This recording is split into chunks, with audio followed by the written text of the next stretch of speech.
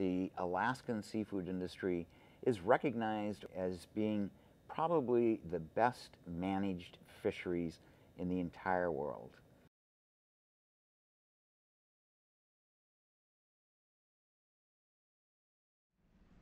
The way uh, we stay in business for, for all these years is to make sure that all of the fisheries are managed in a very, very sustainable fashion.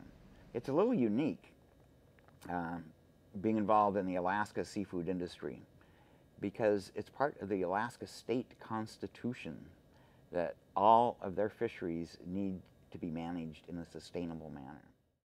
It's not our goal to try to get as many fish or as many crab every year as we can.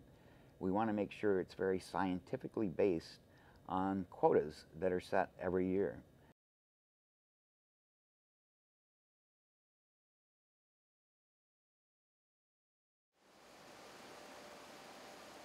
We make sure that we can trace all of our product.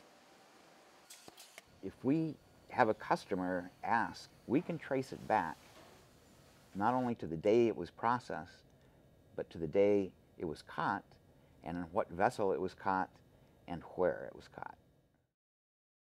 We also participate in some third-party programs uh, for getting certified sustainable.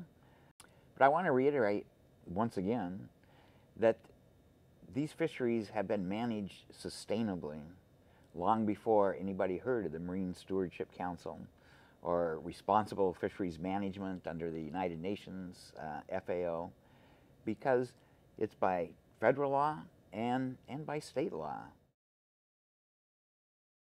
The next generation and the next generation after that are going to have the resources because we know we're not overfishing. In fact, they're, they're managed very much on the, the conservative side.